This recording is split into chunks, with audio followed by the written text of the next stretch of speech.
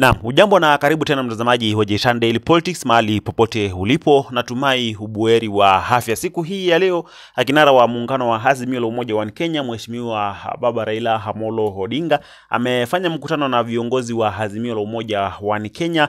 Kama vile unaona tu hapo kwa screen, kuna kina Wycliffe Oparanya, Opiyo Wandayi na viongozi wengi, Pili Vetale na viongozi wengi ambao o, ni viongozi wa Azimio la Umoja wa Kenya ambao unaona siku hii ya leo wameweza kufanya mkutano na kinara wa Azimio la Umoja wa Kenya Raila Amolo Odinga. Unafahamu kwamba uh, siku unafahamu kwamba mtazamaji, kuna mambo mengi ambayo yanaendelea sasa hivi hapa nchini Kenya, na of course sasa hivi watu wengi wanazidi kumlilia kinara wa muungano wa Azimio la Umoja wa Kenya Mheshimiwa Raila Amolo Odinga, wakimwambia kwamba Raila Odinga, rudisha tena maandamano. Hata uh, nilijaribu nikijaribu kuzungumza na baadhi ya watu tofauti tofauti, wanasema kwamba Raila Odinga anafaa kurudisha maandamano tena hapa nchini Kenya na achane na mambo ya bipartisan, kwa sababu mambo ya bipartisan ama maneno ambayo yanazungumzwa pale na Kira- Musyoka na wenzake hayatasaidia Wakenya hata kidogo, na ndio William Ruto ndio huyo anazidi kuongeza tax, lakini pia uh, vitu zinazidi kupanda bei tena zaidi. Kwa hivyo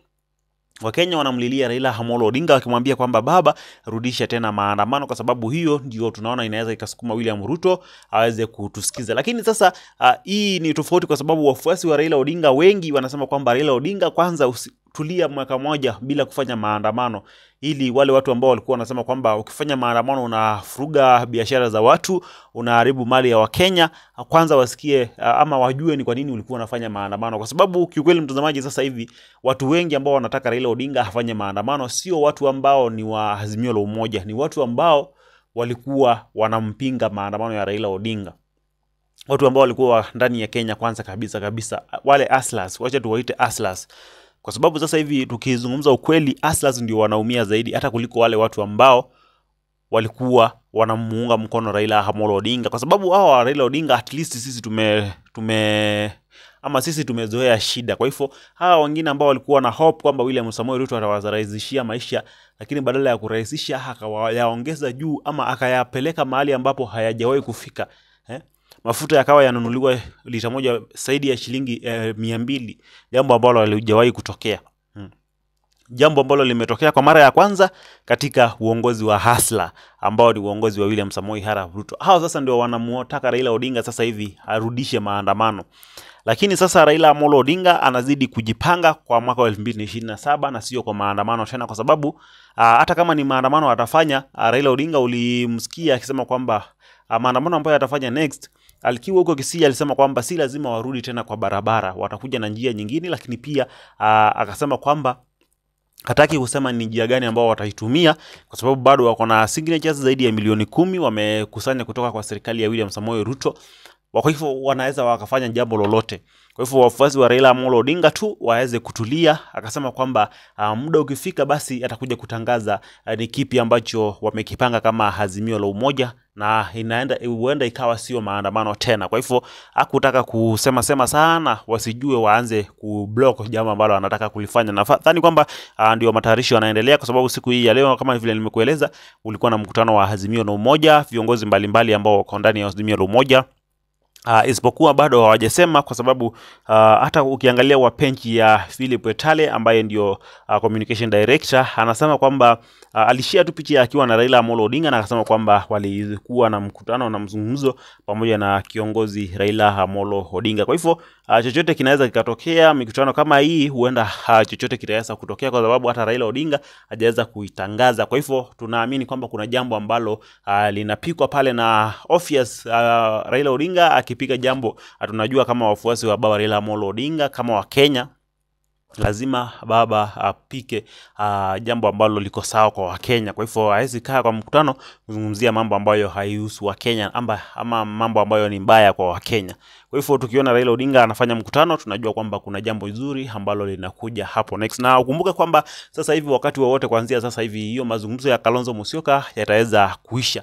Ama Raila Odinga atayatupilia mbali. Hivi karibuni tu, mtazamaji utaona kwamba Raila Odinga kwa sababu alikuwa amepeana mwezi moja na hata uh, mwezi moja nadhani uliisha kitambo sana. Kwa hivyo hivi karibuni tutaona Raila Odinga akiweza kutupilia mbali ya mazungumzo ambayo yanaendelea, lakini pia aweze kupea Wakenya sasa mwelekeo zaidi ambao Wakenya wanangoja sana wasikie ni nini ambacho Raila Odinga atawaambia next ya, kwa sababu hii mazungumzo ya bipartisan nadhani naamini kwamba kuna watu wengi ambao uh, wakubaliani nayo hata kidogo. Yaani watu wengi wanaamini kwamba pale ni kuharibiana muda, pale hakuna chochote kitatoka pale pale hakuna chochote kitatoka pale kiridhishe mtu ambaye alikuwa anaamka saa kumi na mbili kuenda maandamano kuhakikisha kwamba bei ya unga imeshuka chini, bei ya sukari imeshuka, bei ya mafuta imeshuka. Kwa hivyo uh, pale kwa bipartisan sidhani kama kuna Mkenya ambaye ni mfuasi wa Raila Odinga ambaye anafuatilia. Hata wacha kwa sasa kujua ni nini kitatokea pale.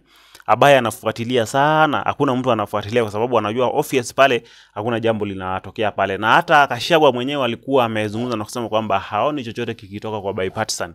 Hmm? Na hata watu kama Jeremia Kioni na wengine ambao wako ndani ya Azimio la Umoja wakasema kwamba pale ni kuharibu muda, hakuna chochote kitazuluhisha pale. Matatizo ambayo Azimio la Umoja walikuwa wanataka yasuluhishwe pale, hakuna chochote ambacho kitaweza kusuluhisha kwa, ama hayo mazungumzo hakuna matunda ambayo yatayazaa hmm. Kumaanisha pale ni kuharibu muda na kuweza kumpotezea Raila Amolo Odinga wakati, lakini naamini kwamba Raila Odinga bado yuko sawa, na ndio maana unaona mikutano kama hii inaendelea kwa sababu anazidi kujipanga tena zaidi, uh, ni njia gani atatumia kuweza kuhakikisha kwamba William Samoei Ruto ameacha kuwafinyilia Wakenya. Lakini sasa hivi kwa sasa tunasema kwamba hatulie tu hivyo hivyo, hata asiwe na haraka ya kufanya maandamano, kwa sababu kuna watu wengi nilikuwa nasikia wakisema, wakizungumza wakisema kwamba Raila Odinga, wewe ni mtu ambaye unapenda furugu, wewe ni mtu ambaye unapenda kuharibu mali ya Wakenya, wewe ni mtu ambaye unapenda sijui mafita, kwa sababu alikuwa anafanya maandamano. Lakini cha ajabu sasa hivi hao watu ambao walikuwa wanasema hivi sasa hivi ndio wanaitisha maandamano. Sasa hivi ndio wanasema kwamba heri hata maandamano yakiwa William Samoei Ruto alikuwa anajaribu kushusha vitu, lakini sasa hivi vitu zinazidi kupanda juu tena zaidi, na bado wanazidi kupropose mambo ya uh, taxes ziendelee kuongezeka tena zaidi hmm? Taxes zitazidi kuongezewa tena zaidi sasa hivi hapa nchini Kenya. Kwa hivyo Wakenya wanaona tu Raila Odinga ndio amebakia akiwa hope na through maandamano ama through kuweza kusukuma serikali na maandamano ndio wanaweza wakasikiliza wale wale watu ambao walikuwa wanampiga Raila Odinga, wale watu ambao walikuwa wanasema kwamba huyu mzee uh, sijui ashikwe afungwe kwa sababu anaharibu mali ya Wakenya, anaharibu anafanya maandamano. hawa hawa watu hmm? Hao ah, watu ambao wakati maandamano yanaendelea walikuwa wanatuma watu uh, wanaenda kuharibu barabara, wanaenda kufunja funja expressway, ndio waseme kwamba hati wafuasi wa Raila Odinga ndio wanafanya uharibifu hiyo hmm. Yote tunaijua kwamba walikuwa wanatuma watu waende waharibu mali, alafu wanarudi wanasema kwamba wafuasi wa Azimio la Umoja ndio wamefanya nini, ndio wameweza kuharibu. Ndio Raila Odinga aonekane kama ni mtu ambaye anapenda furugu, anapenda kuharibu nini hmm? Lakini cha ukweli ni sasa kwamba kwa sasa hivi ground imechange kabisa. Kila mtu amemjua William Ruto sasa ni nani, na kila mtu sasa hivi anasema kwamba kama maandamano ndio atafanya unga ishuke chini, basi maandamano yaendelee. Kama maandamano ndio yatafanya mafuta isiongezeke zaidi, basi maandamano yaendelee, ya kwa sababu uh, obvious ukumbuke kwamba next month tarehe kumi na tano mafuta utarajie iongezeke tena mpaka uh, mia mbili na thelathini kwa sababu si tuliambiwa na Kuria kwamba yatakuwa yanaongezeka kila mwezi hiyo ndio serikali yako ambayo ulichagua, serikali ya Aslas, ambao sasa hivi nadhani kwamba kila Mkenya aliingiza mkono kwa moto, na Uhuru Kenyatta alikuwa amewaoni Wakenya kwamba uh, hii kumchagua William Ruto ni kama kuingiza mkono kwa moto, lakini Wakenya hawakuweza kumsikiliza. Nadhani kwamba sasa hivi ndio wanasikia jinsi ambavyo wanachomeka uh, kwa sababu ya kutomsikiliza Uhuru Muigai Kenyatta, lakini tunangojea tuone jinsi ambavyo mambo yatakavyokuwa. Raila Odinga amefanya mkutano siku hii ya leo, tunangojea tuone pengine ilikuwa ni mkutano wa kuhusiana na nini ama ni mkutano ambao utazaa matunda kwa wafuasi wa Raila Amolo Odinga, kwa sababu wanangojea bado wasikie kutoka kwa kinara wa Azimio Umoja Raila Odinga ni kipi kinakuja next baada ya kufanya maandamano uh, kwa zaidi ya miezi tatu. Lakini uh, tutazidi kufahamisha zaidi mtazamaji, cha msingi hakisha unajiunga na familia ya Jitan Daily Politics kwa kuweza kusubscribe, kutana on notification na kuweza kutuachia maoni yako hapo chini katika sehemu ya comment section. Ukituachia maoni yako, unaweza kutuambia unatazama kutoka kaunti gani, kama uko hapa Kenya, na kama uko nje ya Kenya, basi unaweza kutuambia unatazama kutoka kaundi gani. Mimi najulikana kama Jitan. Hii hapa ni Jitan Daily Politics. Tutazidi kukufahamisha zaidi. Hakikisha una subscribe ili hujunga nasi. Usiende mbali, tunarejea na habari zaidi. Bye bye.